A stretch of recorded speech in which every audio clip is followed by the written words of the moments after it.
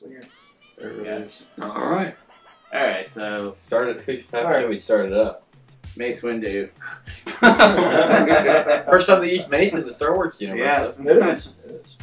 Hi, I'm Jimmy, and in 1983, uh, George Lucas made uh, Return of the Jedi. Apparently, they made so many bear costumes, they decided, let's make some spin-offs. Uh, let's cash in on Ewoks as much as we can on TV, in live action, uh, as well as animation.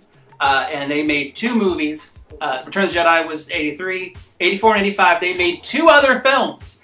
Uh, Caravan of Courage, which was the first film, but we didn't watch that. We in order in honor of Wilford Brimley. The late Wilford Brimley. Oh, that's it.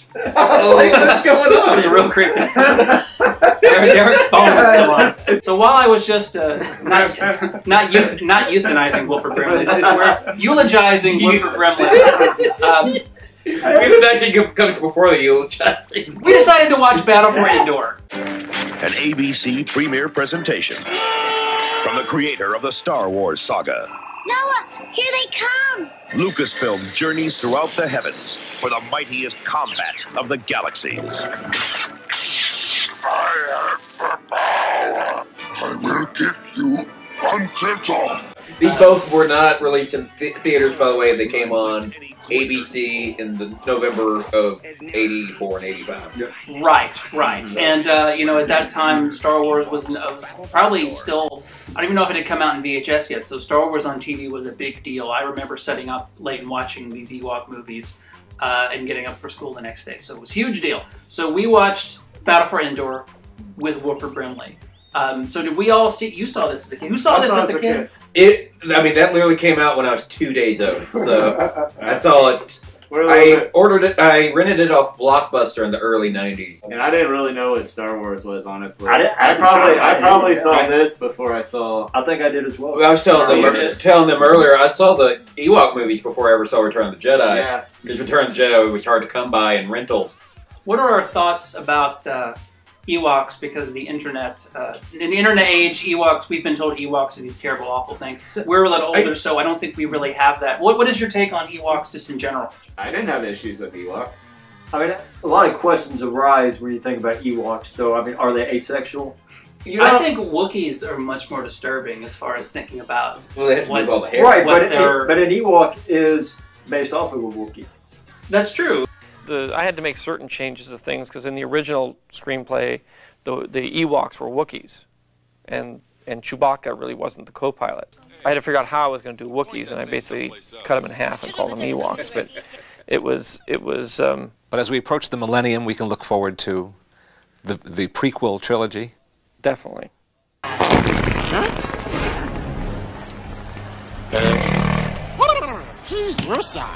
So in uh, Caravan of Courage, we're introduced to the Towani family uh, who crash land on Endor, um, and I think the parents are kidnapped. So the Cindel and her brother uh, are helped by the Ewoks uh, to uh, save their parents. That makes sense. I do like, I do like that these movies kind of populate Endor with some strange Horses. Creatures. Horses. Well, yeah, I'll, I'll get in, I'll get into Look at that. that. I'll get into that a little bit later. That that I have issues with. You can see George and Joe Johnston and Lucasfilm's love of Harryhausen, certainly. in Yeah, the yeah, creatures yeah, and all the stop motion Yeah, stuff. yeah. and that was the time. Um, and there's a lot of stuff in this particular movie we're watching. We watched, say, Battle of Endor. That's very much mid '80s. Yeah. Um, it pulls from all the all the things. Basically, so the movie picks up. It's uh, the the little girl. Her name's Cindel, Yep. and Wicket are just kind of running around. There, it's it's a couple shots of them running around, um, and then uh, the village, Wicket's village, is attacked by mercenaries. Yeah. like pretty instantly, and Cindel's family gets killed off. Murder. This is Yeah, a like- children's movie. Oh yeah, with They're that. Like her- massacred. So in the '80s, though, yeah, Yeah, eighties there's is a difference. eighties is It different. was. There's a Yeah. difference. Uh, within her- the first five minutes of the movie, her, her family's dead. Yeah, and her brother, who was a major character in the first movie, just gets killed off. Like Wonder how that actor felt. He was in. He was in 55 seconds of the movie. Yeah. The recorded amount of time. So and then we're introduced. We're introduced to the bad guys. You got your evil Lynn character, Yep. or uh, The Empress. Bavmorda. Is that her name from Willow? From Willow, yeah. Yeah. Yeah. Yeah. It's like, Very There's a lot of willows. This is- a lot of Willow type stuff. even, and then even the Warwick. and then the bad guy is is like Kale from uh, Kel. Willow as well. That name, Kale, that did not He- age, he- that didn't age well. He even he even enters in screen and pulls off like a helmet. Yeah. Yeah, So which is like which is hilarious. You have to see it. He's Yeah. played by the guy that played Lurch in show Adam Sandler movie. movie. Oh yeah, yeah, yeah. He's played by Lurch. He pulls off a mask that is, It's is so great. it's very similar to his own face.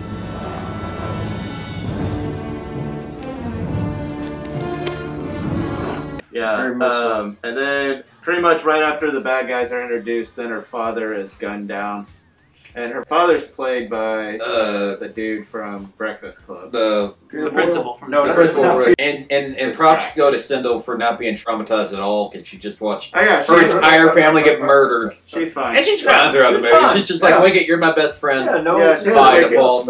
Um, She has Wicket. That's all she needs. She's like, Mom and brother, they're dead. Mm-hmm. Mommy, Mace, they're dead. So then basically they meet Teek. Next. Oh yeah, Teek. Teek. Talk about Teek, Jimmy. Uh, I uh, I love Teek. Teek is in the Star Tours ride. He sits on the little thing and Yeah, Teek's does the thing. he's a happy little muppet who has He's like actually super speed, for the '80s. He's not an, an annoying and and he looks like he would. Be. tertiary character. Yeah, he's he- uh, He looks like he would be a totally annoying, He but does. he's actually a sweet little, little if he character. if he spoke, I think he Yeah, would be that's what. annoying. It's because Yeah, he's because he doesn't Yeah, so speak. speaking. Once you Yeah. give something a voice, it just like takes it down. Yeah, but so- like he's cute. He doesn't Fun. speak. He's fine. He has uh, flash powers. Mhm. He can Yeah. run really fast. Yeah. Um, so yeah, Teek's cool. I like him. Uh, so they take him back to. Uh, Teek takes them back to this hermit cabin. Yeah, yeah. Um, And and they- they just start. They just start making there. themselves at home. Yeah, And- because there's nobody yeah. there. Nobody yeah, nobody there. there. Nobody's there. They Hang start. They start Yeah. cleaning it up, and then that's when we have uh, Seven dwarfs come in. Yeah, Yeah. It just feels like that. we have Wil- Wilford Brimley makes his appearance. Hey! A moment, Uh, The a moment of silence. For Wilford Brimley, it's the right thing to do. It is.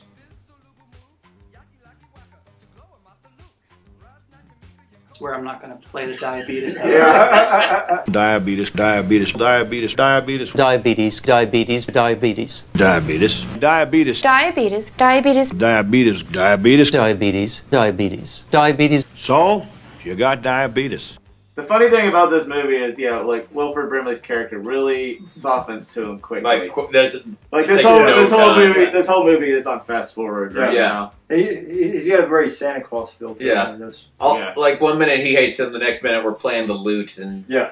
can we talk about any of the weird hugging that goes on during these times? Well, that Well, I- happen for a So moment. one of my notes in It's like this is right The that, away. Wicket one. that the happens there, and then- Wicket Wicket puppet or his the Wicket mask just has dead eyes. Yeah, he, it's he and the looks, teeth are off. he looks really weird. And it's kind of way kind off. of unnerving. I think it's because this Wicket um, talks, so Yeah. the, the, The mouth, mouth is, is more articulated. Yeah. But when it doesn't do anything, like right here, it's just like his two teeth are just there, and it just doesn't. It just looks weird. Yeah, Yeah. Well, Um, he has weird eye And the eye color is Yeah. different than Yeah. I feel like in the original. They're. In Jedi, they're more like dark colored. Yeah, they so- just look. So they just stick out. So it's just like It's really weird. the entire time. Kind of scary. So Yeah, he's kind of weird. the Yeah. the bad guy is yelling that he wants a child because he needs he needs to figure out how to. Oh, his whole his whole thing is he wants the power. The The power of Grayskull. the power. I want the power. Also, Very there well. are there are rats. So it's like this movie doesn't. this movie doesn't- Well, no, I'm just saying this movie doesn't do anything like Star Wars. It doesn't make an analog of a rat. It's just a rat. There's just straight up horses. They they couldn't There even, we go. they couldn't even do like a Star Trek where they like paint the horse Or or put a put a horn on yeah. it. Or no. I don't it's just a, it's just a horse. You have uh, everybody riding these blurgs or whatever. Yeah. Why can't they just have everybody ride that and Yeah, stand it's the just like it's like okay, we're just gonna throw a horse in here, Yeah. Well, that's an effect though. but they don't have. yeah. The horse is just a horse. Yeah, they should just have a. They should have just had a horse analog. So Like I they don't. I, spend all their Like a tauntaun. do yeah, spend- like a tauntaun, just They an spend all their analog, tauntaun. an analog of a horse. Or have them teleport. Did they spend all their money on Wilford Brimley? causing diabetes. Diabetes, diabetes. Um. So basically, yeah, everybody's getting chummy. They're doing their their loot. They're playing the lute. They're hugging. Um, yeah. A. Uh, Very- and then and then we get the the evil Lynn will lure Cindel out by doing her mother's voice. Thank you, my darling.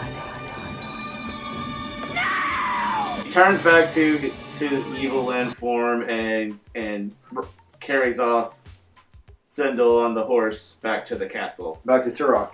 Yeah, back to Torok. So they they show up. Uh, there's this moat that has some type of creature in it, like It's like Yeah, yeah. It never I, I shows thought it. I thought at first it was the The water. the is- water. No. Because it was black. I was like, oh, it's Right. dangerous for water. Yeah, there's something in Fog it. of eternal sin. And then it's just, it's just there's a creature there, but that way if you don't show the creature, you don't have to pay Yeah. for that effect. Yeah, yeah, there was no Yeah. show of the creature. That kind of upset me.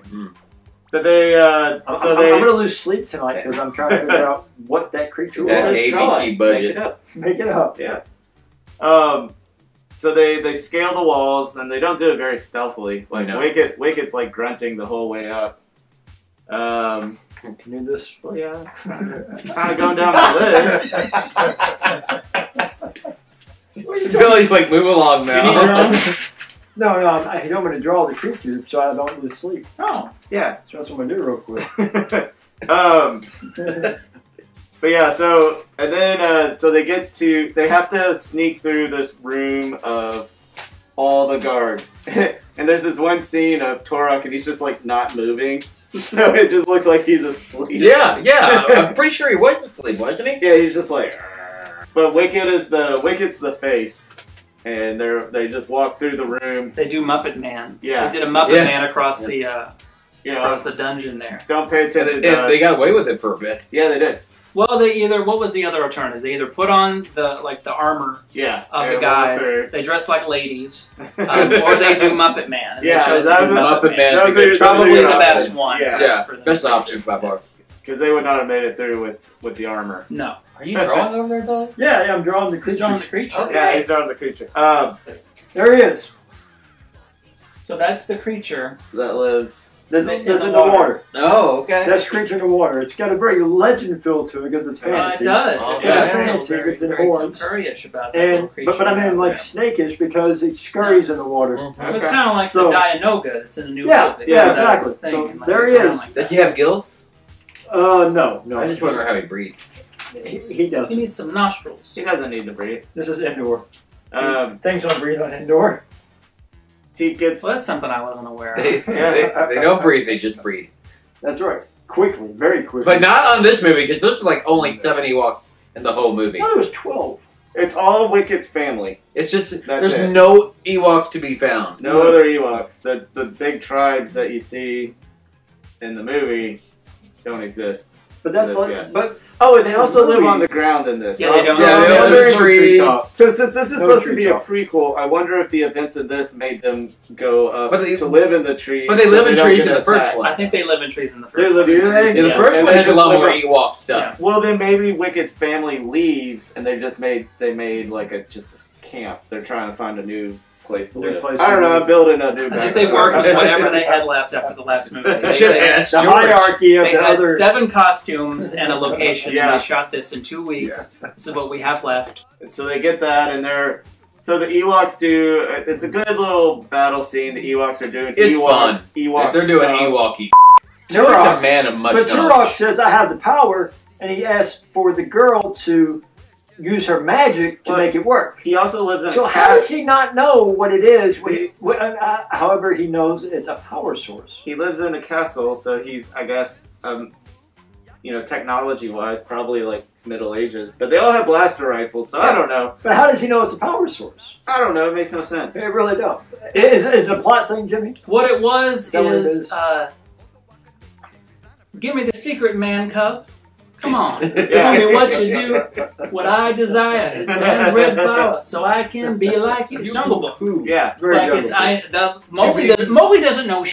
You know, but like King Louie thinks he does. Yeah, Yeah, he- it's, uh, so, like- so, so it's can Jungle. Book. It's Jungle Book. Is Yeah, what it because is. the little girl doesn't know anything about Yeah. this power. No, she She's like, I don't know how to make fire. Yeah. I don't know what that. She doesn't even know how to is." react to her own family getting massacred. She's like Yeah, six not years really. old, so Yeah. We need her to be in danger, and that's the way. Yeah. That's the way we do it. Um, they're able to capture Cindel again, but uh, Wilford Brimley's character like duels Uh, Turok. Tur- no, Turok, yeah, yeah, Turok. Yeah.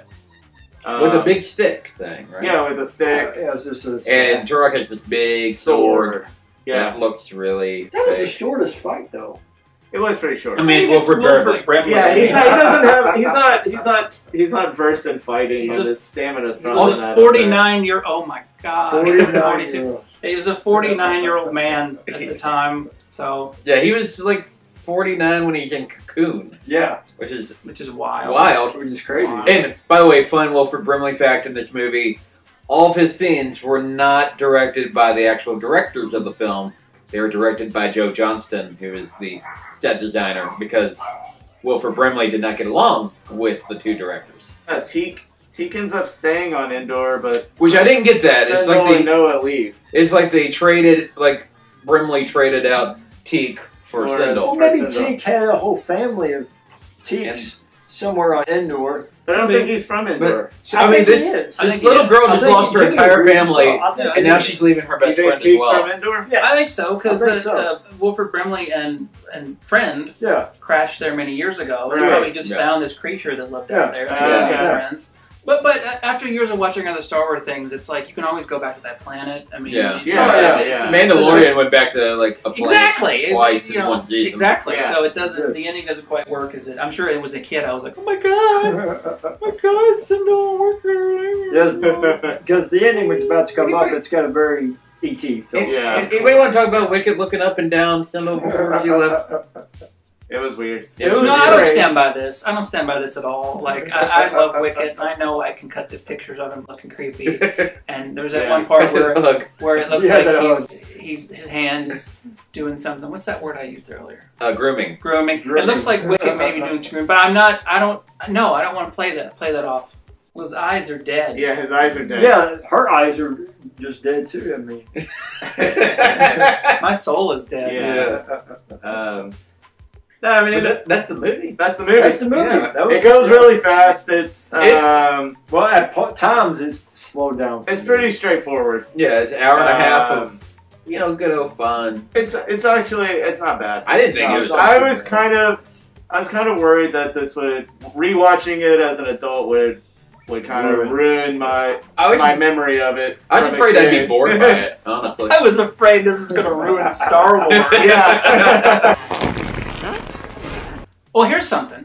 Um, in Rise of Skywalker, uh, Wicket is there, and he has with him a child.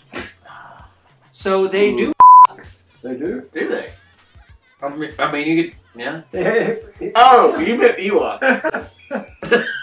Who do you think would get? You thought he was Kendall, didn't you? I I have the words. oh yeah. By the way, the Ewok language was based on Tibetan language. Ah. From Tibet. Yeah. But here are some of the words. A yeehaw is goodbye. Yubnub is hooray. Akha, alright. Gunda is good or yummy. Feech is dang. Lurdo is loser. Piety is come. What? Kush, Kush is who slash what. That's what Wicket said to Cindel. Whoa! That's the ending. So, you got diabetes.